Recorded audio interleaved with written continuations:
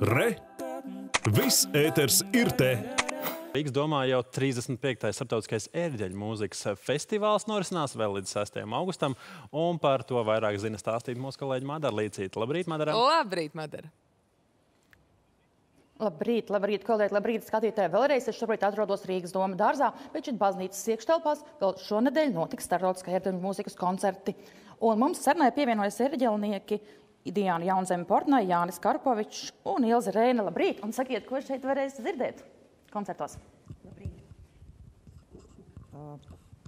Tātad festivālam turpinoties, koncertos varēs dzirdēt Franka ērģeļu mūzikai veltītu koncertu. Tāpat būs arī Baltijas komponistu pārstāvēts mm, sniegums.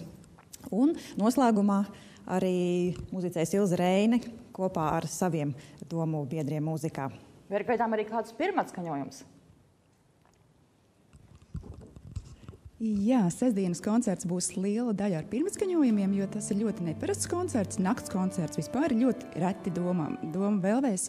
Un tas ir kopā ar senās mūzikas grupu ar šolu kantoru un voks jubilantis, kas dziedās viduslaiku dziedājumus. Un tā kā šai mūzikai vajadzēja kaut ko pavisam atbilstošu un piemērotu atrast, nu neatlika nekas cits, kā ietērpt tur tādās jaunās skicēs, kas tad arī tiešām tiks atskaņotas tajā sestdienas koncertā. Tā kā pirmatskaņojumi šonadēļ sestdienā. Daži koncerti jau ir bijuši. Kāda ir klausītāja atsaucība? Interesi cilvēku? Nu, vispār interesi ir liela. Atklāt sakot, Rīgas domas ir ļoti piepildīts. Praktiski jau katrā koncertā. Ļoti daudz ir arī ārzemju turisti, ārzemju viesi, bet mūsu pašmāja ērģelnieki arī nāk uz koncertiem un klausās. Un, un, un vispār bijis, bijis ļoti teikt, patīkama muzikāla pieredze līdz šim. Tas varbūt atgādiniet vēl, kuros datumos kādu koncertu gaidāmi? Tuvākais koncerts mums būs ar Dianu Jaunzemi, Milānu Birģeli un mani šo trešdienu, 19.00. Rīgas domā, kur mēs saskaņosim Franka opusus, dažus lielus. Un par pēdējiem koncertiem varbūt tu tuvāk Ilzi Reini pastāstīs. Jā, piekdienas vakars būs Ērjānetes Vitas Kalnciems rokās, un viņi spēlēs Baltijas komponistu mūziku. Un sestdiena pārmaiņas pēc deviņos vakarā, nevis septiņos, ar viduslaiku mūziku un improvizācijām un 20. gadsimta dažām miniatūrām. Vai šajā sezonā, kas arī sākās, ir arī gaidām vēl kādi jauni muzikāli pārsteigumi? Jūs varat atklāt pašus savus radošos darbus šogad?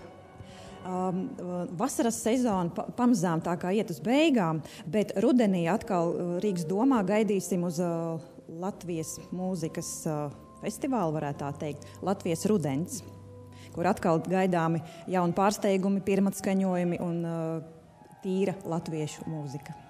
Jā, kādi jums ir radošie darbi šim gadam plānoti? Nu, radošie darbi vairāk vai mazāk saistīti ar, gan ar liturģisko dzīvi baznīcā, es esmu baznīcas ierģelnieks, gan arī un Rīgas domā. Šie mazie pikalo koncerti, kā jau ikvienam Latvijas ierģelniekam, tas ir tāds gods un uzdevums savā ziņā spēlēt šos koncertus 12. dienā, visa gada garumā. Un, jā, un, un, un. Tas nozīmē, ka ne tikai uz šiem koncertiem, bet arī katru dienu cilvēki var nākt un klausīties. Jā, vasaras sezonā noteikti var katru dienu nākt un klausīties. Jā. Ziemas sezonā druskuļi retāk, bet tas ir iespējams. Jums? Jā, un es baudu rosīgo vasaru, kas tiešām ēģelniekiem ir tāpat kā Ziemassvētki, viss čaklākais laiks. Un vēl ceru arī uz sauli, nevis tikai uz ēģelēm, bet baznīcas skan visā Latvijā. Tā kā aicinām klausīties Rīgas domā un daudz kur citur. Tad aicinām vēlreiz uz Rīgas domu, uz Eļģa mūzikas koncertiem. Un es šajā rītā jums teikšu lielu paldies. Paldies, kolēģi, tagad vārds jums.